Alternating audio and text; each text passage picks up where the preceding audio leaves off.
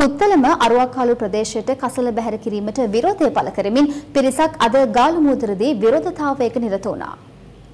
කොළඹ මහනගර සභා බල ප්‍රදේශය සහ තවත් පළාත් පාලන ආයතන රැසක කැලිකසල බැහැර කිරීම සඳහා පුත්තලම අරුවක්කාලු ප්‍රදේශයේ ඉදිරිමින් පවතින කසල අංගණයට විරෝධය පළ කරමින් අද කොළඹ ගාල්මෝදර පිටියේදී මේ ආකාරයෙන් උද්ඝෝෂණයක් පැවැත්වෙනවා. පුත්තලම අරුවක්කාලු කසල අංගණය හේතුවෙන් දීවරීන් 600කට අධික පිරිසක් ඒ වගේම ඔවුන්ගේ පවුල් වල ජීවනෝපායට පවා හානියක් සිදුවන බවයි.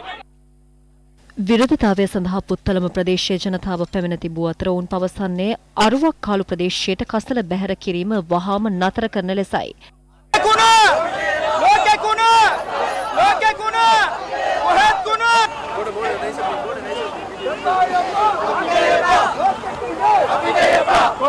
මේ කුණුවලින් සල්ලි උපයන්න විදියක් තියෙනවා. ඒක අපිට බාර දෙන්න. ඒ චැලෙන්ජ් එක අපි බාර ගන්නම්. ඒ චැලෙන්ජ් එකෙන් මේ කුණුවලින් අපි සල්ලි උපයලා අපේ රටේ ජනතාවට අපි ආදායම් ඉදිරිපත් කරලා කිව්වා. අප වාර්තාකරු පැවසුවේ විරෝධතාකරුවන් මේ වන විට ජනාධිපති ලේකම් කාර්යාලයට සංදේශයක් බාර දීම සඳහා පා ගමනින් පැමිණෙන බවයි.